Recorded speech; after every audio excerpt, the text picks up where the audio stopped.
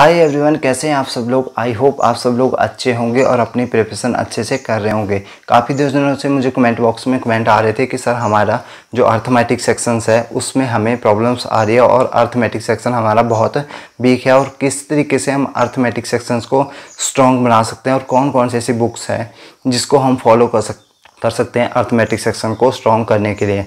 तो आज की इस वीडियो में आपको बताऊँगा कि किस तरीके से आपने आर्थमेटिक सेक्शन को प्रिपेयर करना है और कौन कौन से ऐसी बुक्स है जिसको आप फॉलो कर सकते हैं। सबसे पहले माय डियर फ्रेंड्स मैं आपको एक चीज़ क्लियर कर देता हूँ कि किसी भी मेथड का कोई भी शॉर्टिक्स नहीं होता है। अगर आप बेसिक कॉन्सेप्ट को पढ़ेंगे तो वही आपका शॉर्टिक्स होता है। उसमें आपको शॉर्टिक्स कैसे होता है कि देखिए, जो बेसिक हमारे पास फार्मूला होता है, उसमें हमारे पास जो लास्ट में रिज़ल्ट निकलता है, उसमें हमें एक फार्मूला मिल जाता है। तो कोई भी टीचर जब आपको ऑनलाइन पढ़ाता है तो उसमें वो क्या करता है कि वो जो लास्ट का कंक्लूजन होता है, उसको पुट कर देता है डायरेक्ट आपके किसी भी क्वेश्चंस में। और हम लोग समझते हैं कि वो एक शॉर्ट टिक्स है। बट वो एक शॉर्ट टिक्स नहीं होता है, एक वो एक बेसिक फार्मूला होता है। तो इसीलिए हमें क्या करना पड़ेगा? सबसे पहले अपने बेसिक कॉन्सेप्ट को अच्छा करना पड़ेगा, ताकि हमें शॉर्ट टिक्स का पता लग सके। उसके बाद हम बात कर लेते हैं सेकंड टॉपिक्स के बारे में जो है हमारे पास बुक्स कि हमें कौन सी बुक्स को फॉलो करना चाहिए।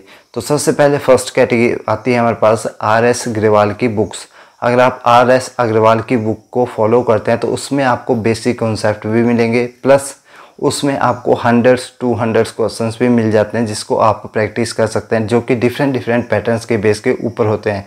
तो अब आप सोचेंगे कि डिफरेंट पैटर्न्स के बेस के बेस क्वेश्चंस कैसे होते हैं? अब सपोज़ कीजिए आपने कोई टॉपिक पढ़ा राइट आपने सिंपल इंटरेस्ट एक टॉपिक पढ़ लिया। तो सिंपल इंटरेस्ट टॉपिक भी एक छोटी सी बात है कि सिंपल इंटरेस्ट तो उसका फार्मूला क्या होता है? सिर्फ़ छोटा सा फार्मूला होता है बट उसी के बेस के ऊपर बहुत सारे टाइप से क्वेश्चंस बन जाते हैं। डिफरेंट डिफरेंट टाइप से घुमा फिरा के क्वेश्चंस बनते हैं। तो हमें उन जो घुमा फिरा के क्वेश्चंस बनाए जाते हैं तो उनकी प्रैक्टिस करनी है। तो उनकी प्रैक्टिस कैसे करें? तो उस बुक्स में आपको हंड्रेड टू हंड्रेड क्वेश्चंस मिल जाएँगे उसी तरह के पैटर्न के बेस के ऊपर। और जो सेकंड बुक है, वो आप फॉलो कर सकते हैं। राजेश वर्मा सर की बुक है, जिसको भी आप फॉलो कर सकते हैं। और थर्ड बुक हमारे पास आती है, वो है के डी पब्लिकेशंस की। अगर आप के डी पब्लिकेशंस की बुक्स को फॉलो करते हैं तो उसमें भी आपके बेसिक कॉन्सेप्ट दिए होते हैं। उसमें शॉर्टिक्स भी आपको मिलेंगे, उसमें आपको क्वेश्चंस भी मिलेंगे। तो इन बुक्स को फॉलो कर सकते हैं आप अपनी। मैथ के ऑटोमेटिक सेक्शन को स्ट्रॉन्ग करने के लिए। उसके बाद हम बात कर लेते हैं कि आपने बुक्स ले ली तो बुक्स को कैसे आपने स्टडी करना है? सबसे पहले आपने कोई भी टॉपिक उठाना है तो किसी भी टॉपिक पे आपने क्या करना है? सबसे पहले उसके कॉन्सेप्ट बनाने हैं। कॉन्सेप्ट बनाने के बाद उसके बीच में आपको पता लगेगा कि इसके शॉर्टिक्स कुछ इस तरह से हैं। जब आप उसके शॉर्टिक्स को सीख जाएँगे तो आपने उसके बाद आपने थर्ड स्टेप क्या करना है कि आपने उसके नंबर ऑफ़ टाइप क्वेश्चंस को सॉल्व करना है। मीन्स डिफरेंट डिफरेंट पैटर्न्स के ऊपर आपने उस पार्टिकुलर टॉपिक के क्वेश्चंस को ढूंढना है और उनको सॉल्व करना है और अपने एक नोटबुक्स में लिख लेना है। उसके बाद आपने लास्ट में क्या करना है कि आपने जो भी टॉपिक कवर किया, उसकी एक क्विज़ लगाइए राइट या मोक टेस्ट दीजिए। उसमें जो भी उस टॉपिक के ऊपर क्वेश्चन आता है तो देखिए कि आपने वो क्वेश्चन को सॉल्व किया या नहीं किया। आपको प्रॉब्लम्स आई या नहीं आई, या आपको वो क्वेश्चन करने में कितना टाइम लगा? तो इन सब चीज़ों का एनालिसिस आप लीजिए, तब आपकी जो है अर्थमेटिक का वो टॉपिक स्ट्रॉन्ग हो जाएगा राइट अब हम बात कर लेते हैं लास्ट टॉपिक के बारे में, जो है कि टॉपिक्स को कैसे कवर किया जाए। कि अर्थमेटिक्स के कुछ ऐसे टॉपिक्स होते हैं जो एक दूसरे से कोरिलेटेड होते हैं। तो सबसे पहले हमारे पास फ़र्स्ट कैटेगरी में आते हैं, हमारे पास जैसे टाइम एंड वर्क हो गया वर्क एंड वेजिस हो गया पाइप एंड सिस्टम हो गया, ये तीन टॉपिक ऐसे हैं जो आपस में को रिलेटेड हैं। इनके कॉन्सेप्ट भी सेम है और इनकी स्ट्रेटजी भी सेम है कि आप सिर्फ़ इसमें जो है कुछ कुछ वैल्यूज़ चेंज होती है और जो बेसिक्स का कॉन्सेप्ट है वो सेम है राइट तो इन तीन टॉपिक्स को जब भी आप पढ़ें तो इकट्ठा पढ़ें राइट उसके बाद आते हैं हमारे पास नेक्स्ट जो टॉपिक है वो है हमारे पास टेन टेन के बाद बोट एंड स्ट्रीम और लास्ट में टाइम एंड डिस्टेंस।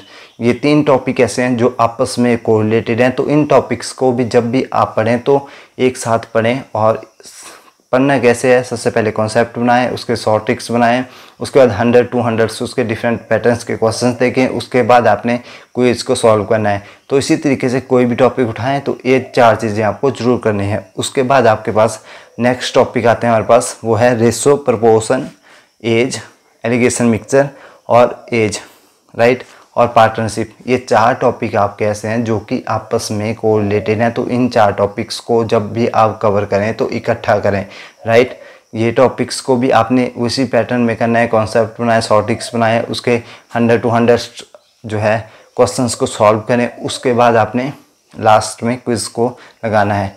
तो हर एक टॉपिक्स का आपने इसी तरह के पैटर्न को फॉलो करना है। और लास्ट में हमारे पास जो नेक्स्ट आता है, वो आता है एज एज के बाद आप प्रॉफिट लॉस और प्रॉफिट लॉस के बाद compound interest and simple interest in topics को भी आप कवर कर सकते हैं राइट तो इन, ये जो तीन टॉपिक हैं, ये भी आपस में कोरिलेटेड टॉपिक्स हैं. इन तीन टॉपिक्स को भी आप एक साथ में इकट्ठा कवर कर सकते हैं. बट आपने किसी भी एक टॉपिक को थ्री से फोर डेज़ लगाने हैं और उसके बाद आपने नेक्स्ट टॉपिक पे प्रोसीड करना है. और जब भी नेक्स्ट टॉपिक पे प्रोसीड करेंगे तो उससे पहले पिछले वाले टॉपिक्स के लिए तीस मिनट निकाल के उसका रिवीजन करना है। तभी आप जो है नेक्स्ट टॉपिक पे प्रोसीड करेंगे और अपनी क्विज़ जो है वो डेली लगाते रहें राइट जिससे आपको जो आपके प्रीवियस कॉन्सेप्ट होंगे वो भी आपके रिमेंबर रहेंगे, आपको जो भी आपके प्रीवियस कॉन्सेप्ट आपने पढ़े होंगे वो भी आपके माइंड में रिमेंबर हो जाएँगे कि इस कॉन्सेप्ट के बेस के ऊपर ये क्वेश्चंस पूछा गया था तो इस तरह से सॉल्व करना है। तो आपको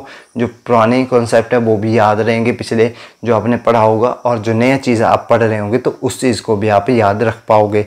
ये आपका एक बेनिफिट्स होता है क्विज देने का। टॉपिक्स के बारे में एवरेज उसके बाद alligation mixture L H C F L C M और लास्ट में हमारे पास आता है नंबर सिस्टम तो ये जो टॉपिक्स हैं, इनको आ, चार टॉपिक्स को आप एक साथ में कवर कर सकते हैं राइट तो इस तरीके से आप अर्थमेटिक्स के पूरे सेक्शंस को कवर कर सकते हैं और अपने वीक सेक्शन को स्ट्रॉन्ग बना सकते हैं राइट अगर आप इस पैटर्न के बेस के ऊपर अपनी स्टडी को फॉलो करेंगे तो आपको जो है डेफिनेटली रिज़ल्ट मिलेंगे।